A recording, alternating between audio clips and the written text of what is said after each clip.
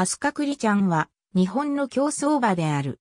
馬名の意味は冠名愛称。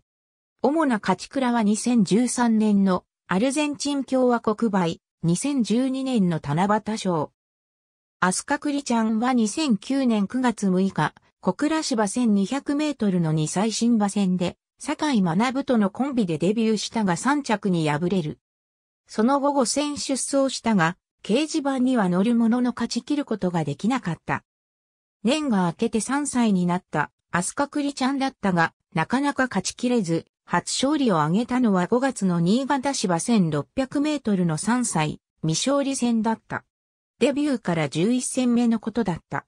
初勝利の後、500万下条件戦を2戦したが、いずれも3着に敗れた。5月の新潟競馬で復帰したアスカクリちゃんは2戦目の商品特別で差し切り勝ちを決め、1年ぶりに勝ち星を挙げた。1年ぶりに勝利したアスカクリちゃんは夏になると新潟で2戦し、村上特別、月岡温泉特別を連勝した。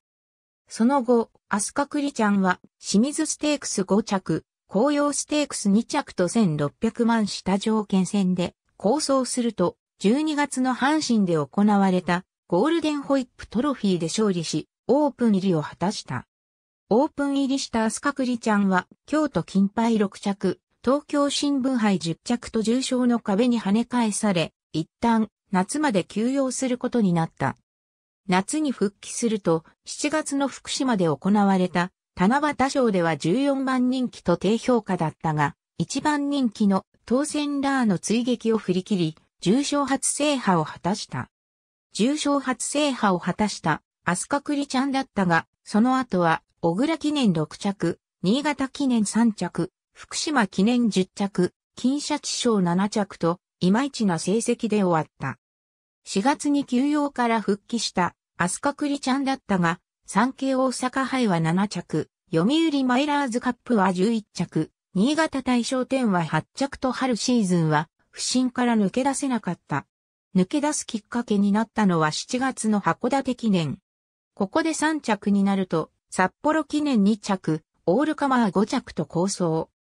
そして、オープン特別のアイルランドトロフィーで4着になったアスカクリちゃんは11月の東京で行われたアルゼンチン共和国杯で直線で鋭く抜け出し、重賞2勝目を飾った。重賞2勝目を飾ったアスカクリちゃんは香港へ遠征し、香港バーズに出走したが7着に終わった。同年は日経賞から復帰したが8着に終わった。その後、天皇賞18着、目黒記念10着、函館記念11着と2桁着順が続いた。不振から抜け出すためにダートの重賞エルムステークスを使ったが12着に敗れた。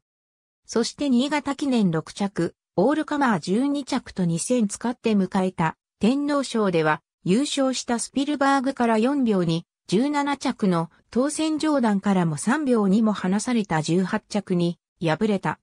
ゴール後、騎乗していた三浦厚生が異変を感じ、すぐ逃げば。診療所で診察した結果、レース中に左講師のつなぎ人体断裂を発症していたことが判明。競争能力喪失と診断され、事実上引退が決まり、11月12日付で競走馬登録を抹消された。その後は治療に専念し、白馬牧場にて種ボバに転身した。ありがとうございます。